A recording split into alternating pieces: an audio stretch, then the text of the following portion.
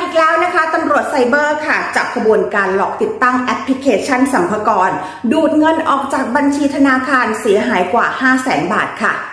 หลังจากมีผู้เสียหายถูกหลอกให้ติดตั้งแอปสัมภาระนะคะ โดยดูดเงินออกจากบัญชีธนาคาร อ้างเป็นเจ้าหน้าที่ของกรมสัมภาระหลอกให้ยกเลิกโครงการคนละครึ่ง โดยมีการส่งลิงก์ให้ดาวน์โหลดแอปที่ชื่อว่า Revenue ค่ะ หลังจากนั้นเครื่องของคุณจะไม่สามารถใช้งานได้ แล้วก็ไม่สามารถที่จะปิดเครื่องได้ชั่วคราวนะคะ แต่ปรากฏว่าพอเปิดเครื่องมาแล้ว เครื่องใช้งานได้ตามปกติแล้ว เงินในบัญชีหายไปเกลี้ยงเลยค่ะ 5 0 0แสนบาทนะคะ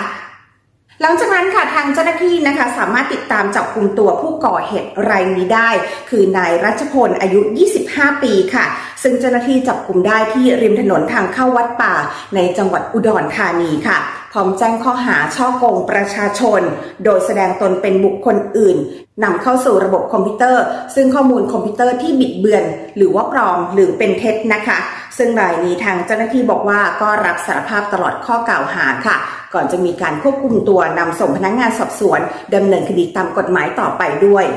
เพราะฉะนั้นฝากไว้นะคะสำหรับผู้ที่จะมีการไปโหลดแอปต่างๆมานะคะ ไม่ว่าทางมิจฉาชีพจะหลอกคุณว่าอะไรก็แล้ว แต่ให้เอ๊ะไว้ก่อนเลยนะคะ เพราะว่าปัจจุบันนั้นมิจฉาชีพเยอะจริง ๆ ค่ะ